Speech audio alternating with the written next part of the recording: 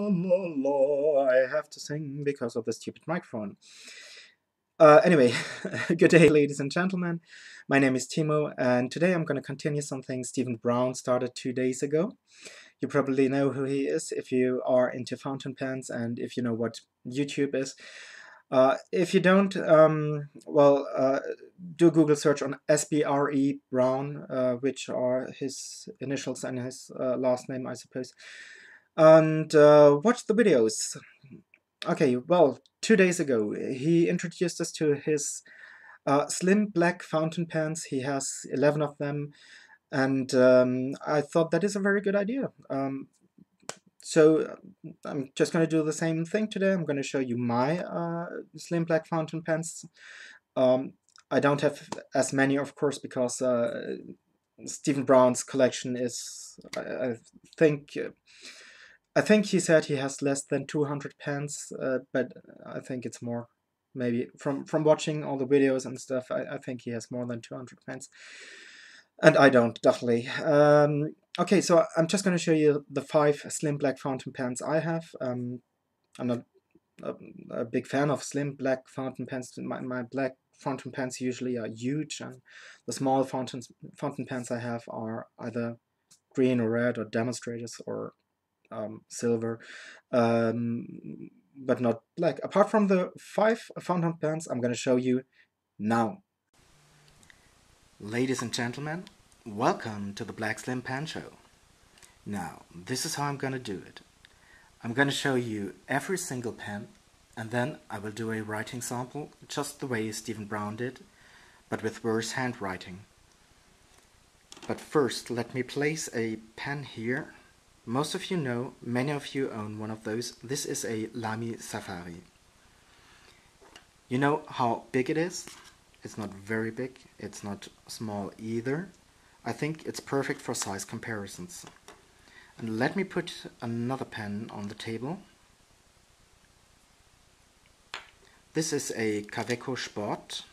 This is maybe the most popular short pen on the market today. Alright, let's start with hmm, the cheapest one. Here it is. It is a Hero 616, a Parker 51 look-alike. It is slim, it is nice, it has a hooded nib. Let me try to show you this because this camera will not be able to focus. Alright, oh this looks horrible. A hooded nib, just like the Parker 51 it's made entirely of plastic apart from the cap and this bit that covers the, well, you could call this converter, I'm not sure. Um, well, this bit that covers uh, the sack. There's a pressure bar that's not very useful at all. Actually, if you want to fill this uh, pen, it's much easier to to um, get rid of this bit and uh, hold the pen into the ink and just squeeze the sac with your fingers um, because using the, the pressure bar it will take ages and it will not fill completely. It is very easy to take this pen apart. Inside the sac you might be able to see a breather tube and if you push the breather tube then you, then you will push out the nib and the feed as well. You can take this pen apart completely, um, which I will not do right now. Plastic, cheap. I paid uh, 15 euros for 10 of them. Nevertheless, quite a good pen. The next pen is a Miffy. Oh, let me place the Parker here for size comparisons uh, Parker, uh, the hero. The next pen is a Miffy. You might not know this brand because Miffy, Miffy isn't a fountain pen brand. Miffy is a, a bunny, a cute little bunny. This is my wife's favorite pen, believe it or not. It is very small, it is very, very slim. It's probably made for children's hand, but well, maybe also for Asian women aged whatever. I just noticed maybe this is not really made for children's hands because you can't easily get the cap off. Uh, there's there's very much resistance. Um, I doubt that young children can easily do that.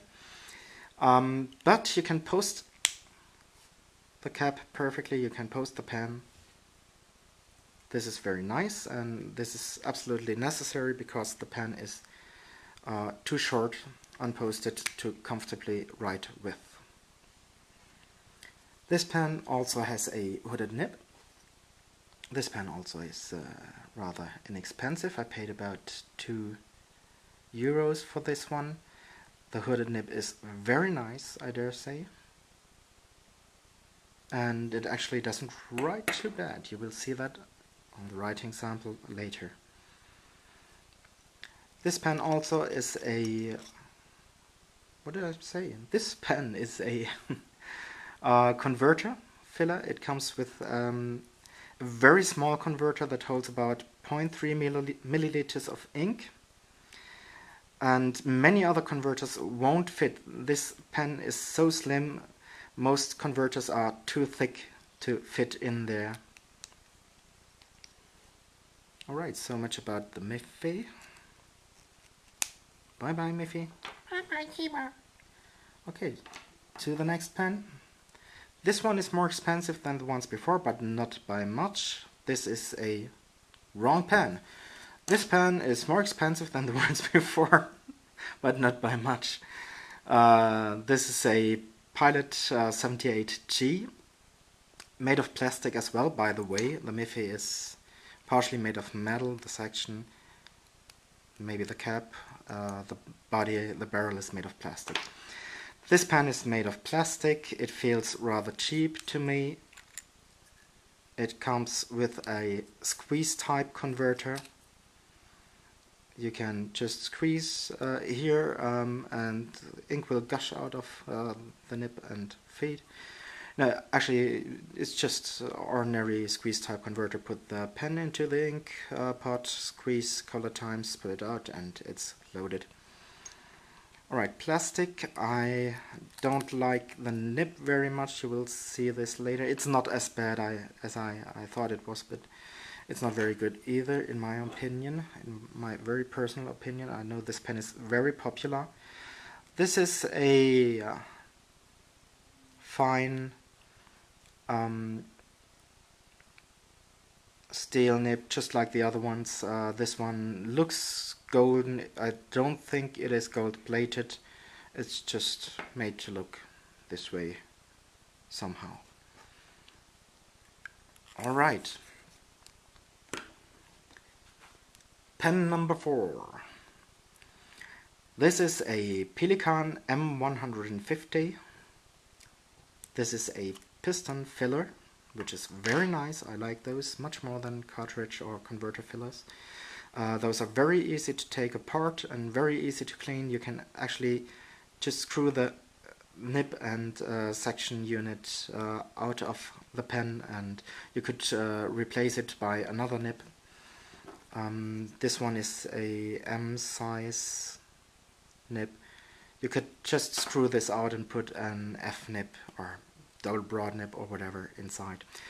Uh, it's very easy to clean this way as well. The whole pen is made of resin, maybe plastic, maybe, I have no idea.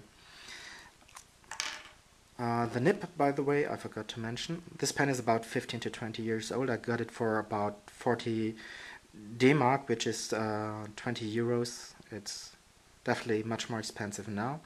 As you can tell, most of the gold plating of the nib is gone. Well, that's just what happens with those pens. Alright, let's go to pen number 5.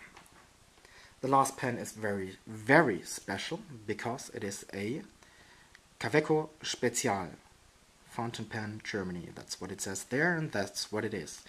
what's so special about this pen? Well, it is really slim. Let's take the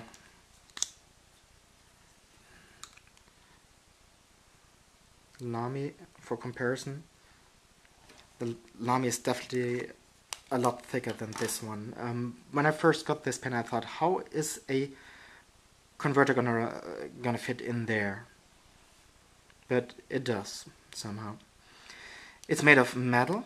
It's very robust. It's very well. You can sit on it. You can jump on it. It will not break.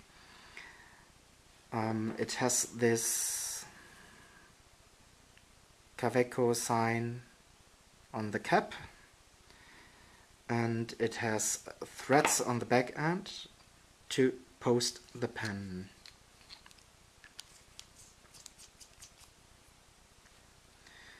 Okay, what I like about this pen is there's an, this is only a small detail, but I like it very much.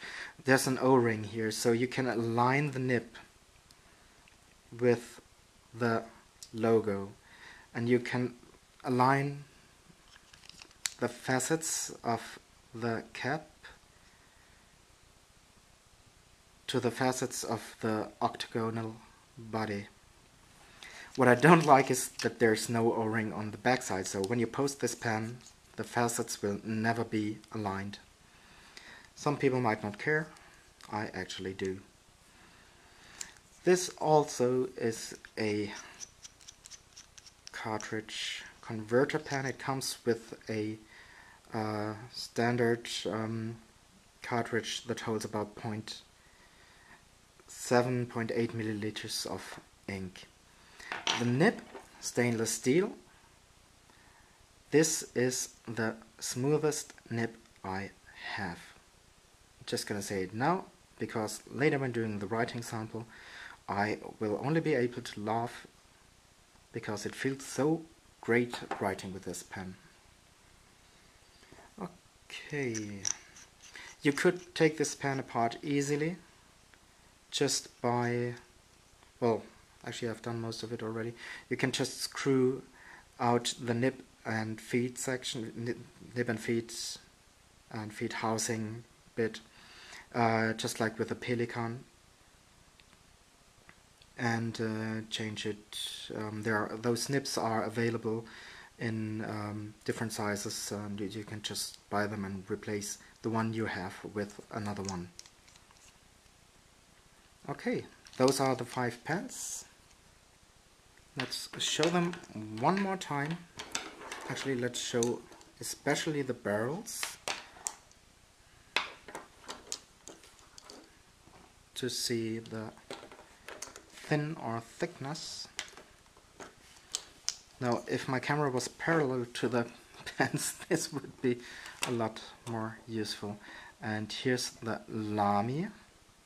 Looks thicker than most of them. Actually, I um, it doesn't seem like that on the camera, but it is thicker than the than the Pilot.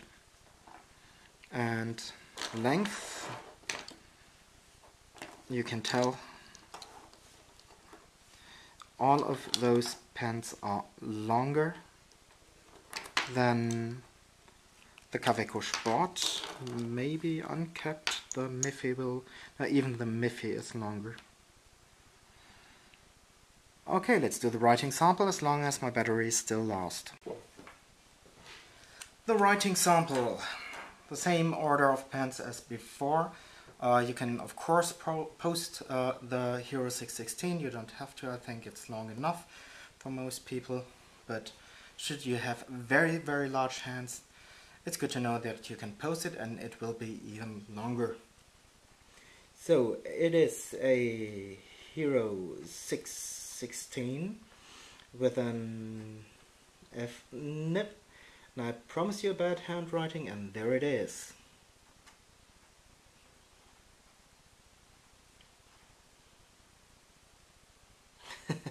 I wonder how my teachers could read this.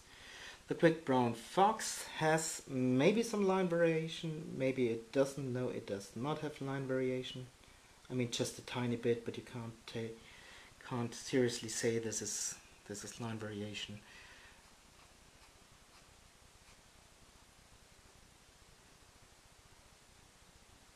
No, not much. This pen is four, three, two, one, wet. Believe it, believe it or not, it is wet. Uh, by the way, the ink used is uh, Lamy Blue because uh, Lamy Blue is um, very well behaved and it is very boring and I have to get rid of it somehow. Okay, pen number two is the Miffy. This is going to be a bit difficult for me because this pen is so thin, so slim, so small. Hmm. Uh, can hardly write with this.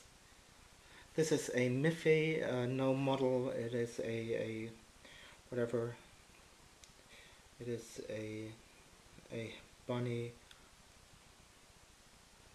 uh, sad bunny in this case. Um, this might be an F-nib or a Japanese M-nib.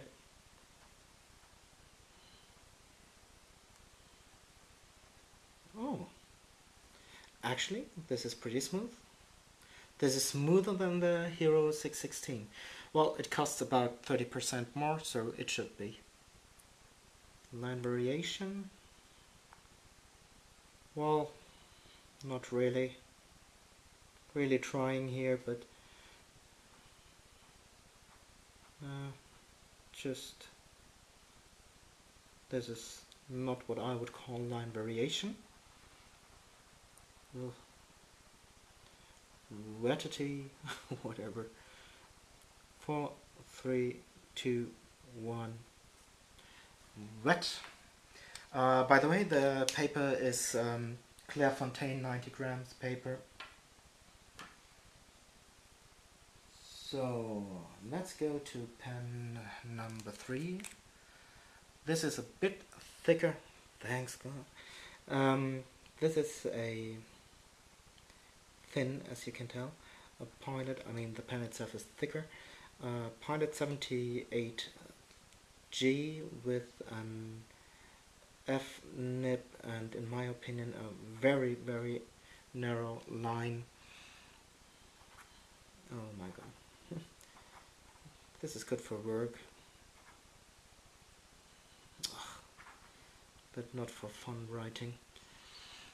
Um, yeah, my work, I, I need a pen that writes very narrow lines. So let's see if we can squeeze out some line variation. And it is better than I thought it was. I thought there was absolutely nothing, but there's only close to absolutely nothing. The nib is very springy, very flexible kind of, but uh, the tines don't open up.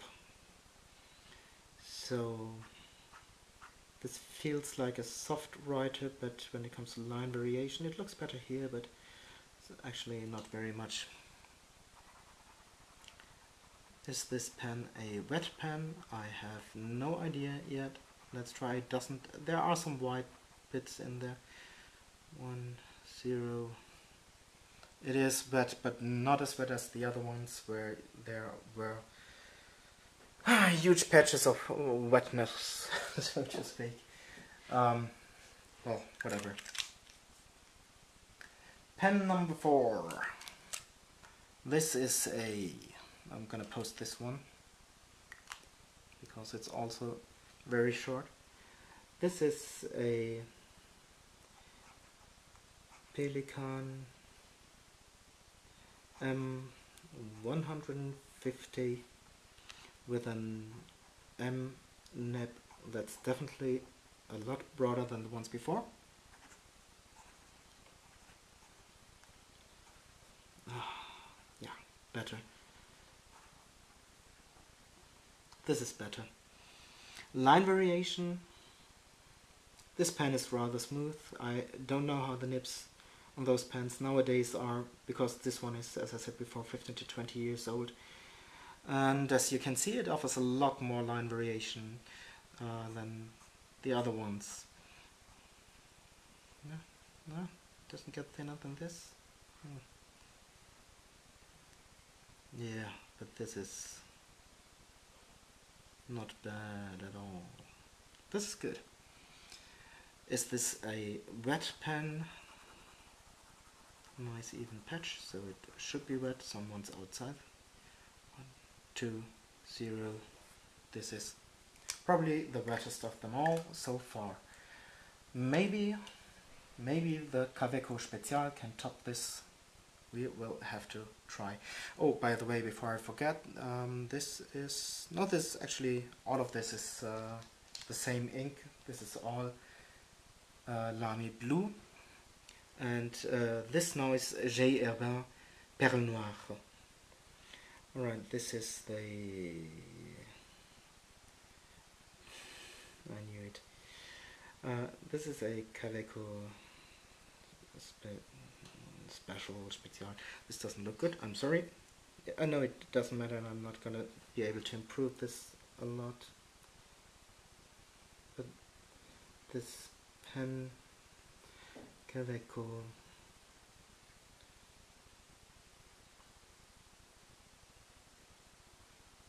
not much better. Kaweco Special with an F nib. The F is pretty broad in this case. Uh, there's not much difference between the Pelikan M and the Kaweco F nib.